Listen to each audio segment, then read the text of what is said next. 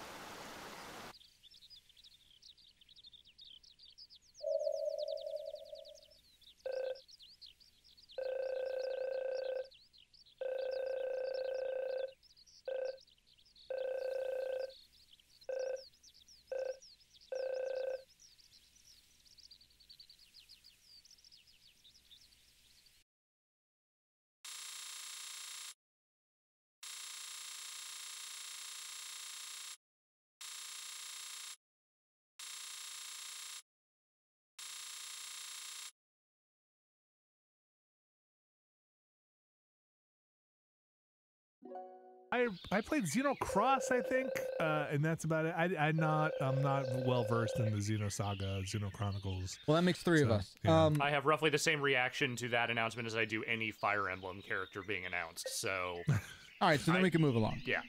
Uh, Fall Guys is coming to the Switch this summer. Surprised it wasn't already there. I didn't know it wasn't already there. It's also coming to Xbox.